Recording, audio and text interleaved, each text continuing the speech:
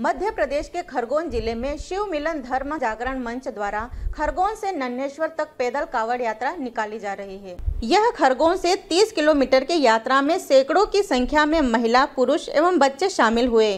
शिव भक्ति शिव भक्ति लीन श्रद्धालुओं ने डीजे के धुन पर थिरकते नज़र आए। यात्रा के संयोजक रवि जायसवाल ने बताया कि प्रति वर्ष अनुसार इस वर्ष भी हमारे क्षेत्र में शांति खुशहाली बनी रहे, अच्छी वर्षा हो, यही उद्देश्य से हमारी यात्रा है। खरगोन से अजय तिवारी की रिपोर्ट। हेलो फ्रेंड्स आप देख रहे हैं हमारा channel S W twenty four news हमारे सारे वीडियो सबसे पहले देखने के लिए आप हमारे चैनल को सब्सक्राइब करें और पास में लगे बेल आइकन को दबाना बिल्कुल भी ना भूलें।